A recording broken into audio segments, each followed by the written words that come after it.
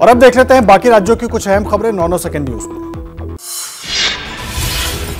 झारखंड के सीएम हेमंत सोरेन बोले नियोजन नीति से दूसरे राज्य के लोगों को बहुत तकलीफ़ हो रही है। नवंबर में स्थानीय और नियोजन नीति से जुड़ा विधेयक पास किया राज्यपाल से जल्द लागू करने का किया है अनुरोध। एआईएडीएमके से अपशब्द नेताओं पन्नीर सेल्वम की अप, आज अपने गुट के नेताओं के साथ बैठक। पूर्व मंत्री पनरुति एस रामचंद्रन करेंगे बैठक की अध्यक्षता। पार्टी पदाधिकारी और जिला सचिव भी होंगे शामिल। दिल्ली के सीएम अरविंद केजरीवाल को वक्फ बोर्ड के इमाम ने सौंपा ज्ञापन। करीब 300 इमामों और मौलवियों को आठ महीने से नहीं मिली है सैलरी। दो दिन में सैलरी दिलाने का मिला भरोसा। गुजरात से बीजेपी राज्यसभा सांसद अनिल अग्रवाल ने की प्रदेश अध्यक्ष सी आर पाटिल की तारीफ़, कहा जो रणनीति केंद्र नेतृत्व ने बनाई थी, उसको ज़मीन ज़मीन पर पाटिल और उनकी टीम ने लागू किया। बीजेपी की भूपेंद्र पटेल सरकार को तीन निर्दलीय विधायकों का मिला है समर्थन, एक सौ बयासी सदस्यीय विधानसभा में बीजेपी के पास एक सौ उनसठ विधायक, विपक्ष में अब महज तेईस विधायक।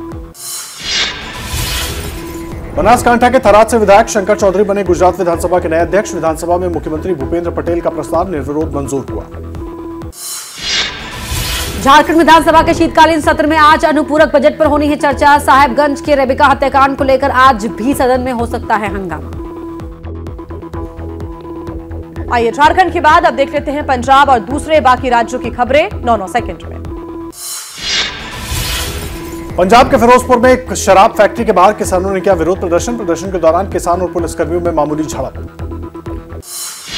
पंजाब सरकार के खिलाफ अपनी मांगों को लेकर पूरे पंजाब के ट्रक ऑपरेटर्स का हल्ला बोल, खराब मौसम के बावजूद भी सैकड़ों की गिनती में ट्रक ऑपरेटर पहुँचे संगरूर, पंजाब सरकार पर लगाया मांगे पूरी न करने का आरोप। तेलंगाना मुद्दे पर बोले कांग्रेस नेता वी हनुमंत राव, कहा, हमने कभी किसी से इस्तीफा देने के लिए नहीं कहा। बोले, हम केपीसीसी अध्यक्ष के काम के खिलाफ नहीं है। मध्य प्रदेश वीएचपी नेता सुरेश शर्मा ने पुलिस के सामने दी समुदाय विशेष की बस्ती में आग लगाने की धमकी। कुशवाहा समाज के लोगों पर हमले से नाराज़ थे। वीएचपी और बजरंग दल ने किया था थाने का घेराव।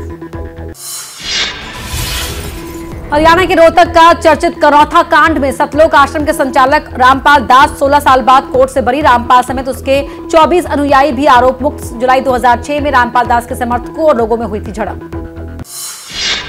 जम्मू में आज से डोगरी मान्यता दिवस समारोह तीन दिनों तक चलेगा ये समारोह। समारोह की शुरुआत पिछले तीन साल के सभी चार श्रेणियों में साहित्य अकादमी पुरस्कार विजेताओं के अभिनंदन के साथ होगी पश्चिम बंगाल में गंगा सागर मेले की तैयारियों में जुटी ममता सरकार। आज कोलकाता में सीएम ममता बनर्जी करेंगी बैठक। नए साल में मेले का होगा आयोजन। कोलकाता में सीएम ममता बनर्जी आज पार्क स्ट्रीट के एलन पार्क में क्रिसमस महोत्सव का करेंगे उद्घाटन। महोत्सव का यह बारहवा संस्करण होगा।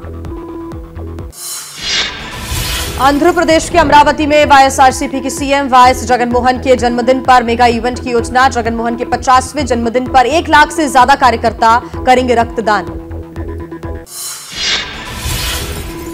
वडोदरा की दो महिलाओं की नायाब शुरुआत। दस हज़ार बेकार बोतलों से बना रही हैं। सजावटी सामान अपने साथ ही दूसरों को भी दे रही हैं रोज़गार।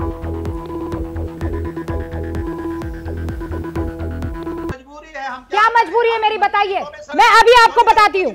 मैं अभी आपको बताती हूँ कि मैंने ओए होए होए होए नमकीन के चटकारे लेते हुए टकटकी मार के डिबेट शो को पॉज रिपीट कर कर के देख रहे हैं जोगिंदर जी। इनकी तरह आप भी देखें अपने फेवरेट डिबेट्स को रिपीट कर। और डाउनलोड कीजिए एबीपी लाइव ऐप अपने स्मार्ट टीवी पर।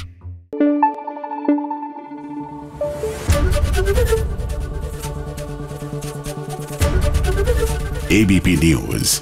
आपको रखे आगे।